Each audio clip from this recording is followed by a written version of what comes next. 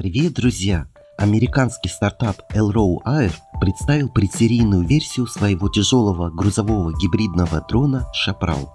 Компания ставит перед собой достаточно амбициозную цель – захватить часть рынка грузовой авиации. Причем даже рынок, который занимается грузоперевозками по земле. По мнению руководства, это будет сделано за счет более быстрой доставки, а также доставки в труднодоступные места. Разработкой грузовых дронов сегодня занимается множество компаний, но единицы из них могут перевозить действительно тяжелые грузы. Прототип тяжелого гибридного грузового дрона «Шапрал» был показан еще в 2019 году. Теперь же дрон готов к серийному производству. Грузовой дрон имеет 8 винтов для вертикального взлета и посадки. Они располагаются на четырех балках по сторонам от фюзеляжа. Гибридная электрическая силовая установка обеспечивает запас хода почти в 480 км и грузоподъемность до 226 кг.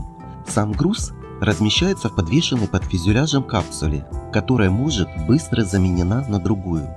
По заявлению компании, она уже имеет заказ на производство более 500 дронов и имеет заказ на 150 дронов от американской региональной авиакомпании Mesa Airlines. Также компания сотрудничает с ВВС США по программе Agility Prime. Согласно ей, создаются летательные аппараты с электрической или гибридной силовой установкой под управлением пилота или действующие автономно. На этом на сегодня все. Друзья, спасибо за просмотр. Мы осветим все.